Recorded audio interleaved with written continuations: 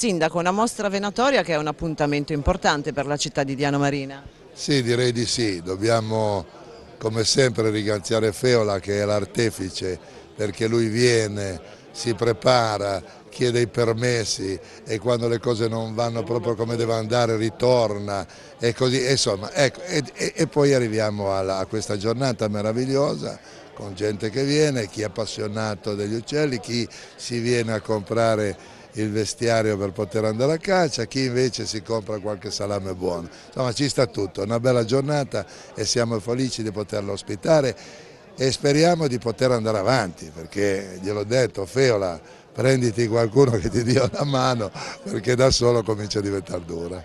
E proprio Feola poco fa ci ha detto che il vicepresidente della Federcaccia sarà il suo sostegno anche per le prossime manifestazioni, quindi una mostra che deve continuare a Diano Marina.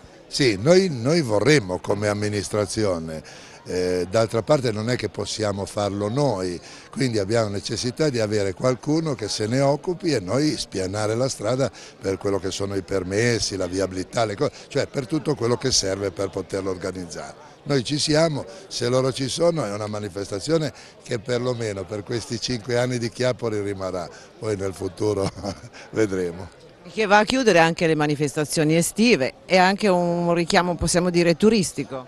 Sì, è un vero richiamo turistico ma eh, colpisce una, una fetta di settore, il che è importante perché ogni manifestazione deve colpire per portare gente che qui non verrebbe comunque la chiusura finale, non per rimarcare, la faremo con Will Festival che è un altro settore che viene qui a Diano Marina e che è la promozione di tutto quello che parla di vento e di mare per il prossimo anno. Quindi sarà, sarà veramente un altro di quegli appuntamenti importanti eh, che Diano Marina ospita e che vorrà ospitare nel tempo.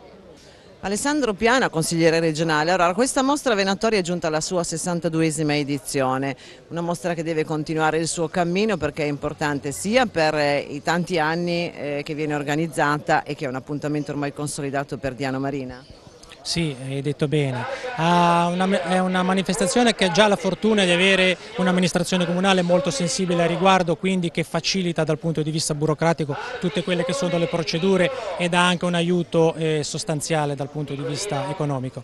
È importante che anche amministrazioni importanti come quelle regionali si facciano carico di queste importanti fiere perché rappresentano appunto eh, la storia, la cultura e, e la tradizione di, questo, di questa regione. Anche anche perché legato al mondo venatorio c'è anche eh, il mondo agroalimentare. Abbiamo qui delle, delle, dei banchetti di prodotti tipici del nostro territorio e del vicino Piemonte.